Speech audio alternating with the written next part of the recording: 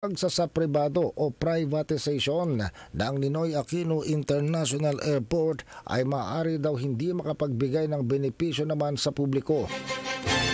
O hindi ito mas maganda ay naman kay Senador J.V. Ercito.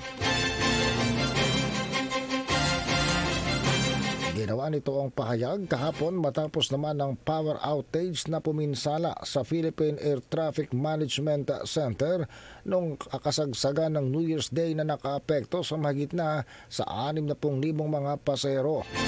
Malabo ang privatization sabi ni Senador J.B. Ejercito. Naya privatization ay hindi maganda. Dapat daw matuto na tayo sa ating mga pagkakamali sa nakalipas. Napakarami ng vital utilities ang naisa pribado. Pero ano ba ang naging pakinabang sa bansa? Dapat daw manatiling kontrolado ng gobyerno ang ganitong mga importanteng utilities dagdag pa ng mambabatas.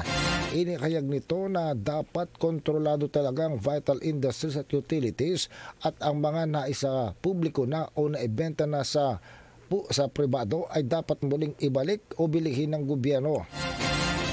Sabi ni Senador J.B. Ejercito ang technical glitch ay dapat isang uh, pangyaring magbukas sa mata ng air traffic ay naparalisado o napakadaling maparalisado ng gano'n na lamang.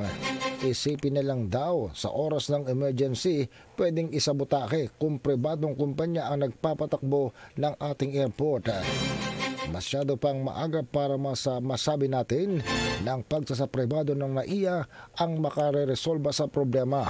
Ang panukalang ito ay kinakailangan pag-aralang mabuti at tingnan lahat ng mga usapin na konsiderasyon. Ang nakikita raw niya, sabi pa ni Ersito, ang dagliang pangangailangan na magkaroon ng mas mga mahuhusay na equipment at facilities sa NAIA na itinuturing na gateway sa ating bansa para sa mga investors, mga turista, mga OFW at mga travelers. Dalawang araw bagong airport fiasco. Si Transportation Secretary Jaime Bautista